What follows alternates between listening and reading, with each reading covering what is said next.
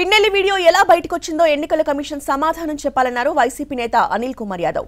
గొడవలకు వైసీపీనే కారణమని చెప్పేందుకు ఈసీ ప్రయత్నిస్తోందన్నారు. పిన్నెల్లి వీడియో బయటపెట్టిన వారిపై చర్యలు తీసుకోరా అని ప్రశ్నించారు.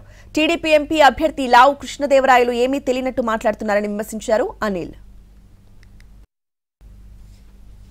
వాళ్ళు పోయి ఎస్సీలని బీసీలని కొట్టడం కానీ ఈరోజు అలాగే తుమ్మరకోట్లు అయితే దాదాపు ఈరోజు ఈసీని అడుగుతా ఉన్నాం మేము. మీరే అన్నారు తొమ్మిది దగ్గరల ఈవీఎంలు పగలగొట్టారని.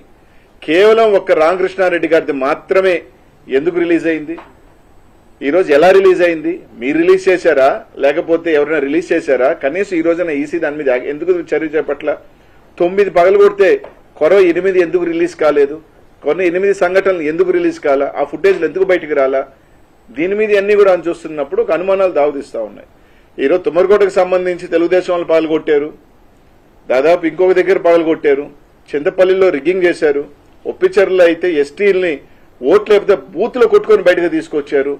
ఇదే పాలువాయి గేట్కి సంబంధించి బీసీలు ఎస్సీలు మహిళలు ఓట్లైన పోతా ఉంటే ఓట్లేనియకుండా కొట్టి తరిమేస్తుంటే ఎమ్మెల్యే గారు పోయి దాదాపు ఒకటిన్నర గంట ఎస్పీకి ఫోన్ చేసిన అదే ఎస్పీ గారు మాచర్ల చుట్టూ తిరిగారు కానీ కనీసం పాల్వాయి గేట్ దగ్గరికి రావాలన్న ఆలోచన కూడా చేయలేదు. ఎందుకంటే ఇదంతా ఒక ప్రీ ప్లాన్డ్గా ఎక్కడెక్కడ ఇబ్బంది పెట్టాలి ఎక్కడెక్కడ తెలుగుదేశం వాళ్ళు రిగింగ్ చేసుకోవాలి అని ఒక ప్రీ ప్లాంట్గా చేసిన పద్ధతిలోనే నడిచింది. ఇటుకూరు గ్రామంలో ఆ రోజు ఆ తెలుగుదేశం పార్టీ వాళ్ళు పోయి ఎస్సీలని బీసీలని కొట్టడం గాని ఈ రోజు అలాగే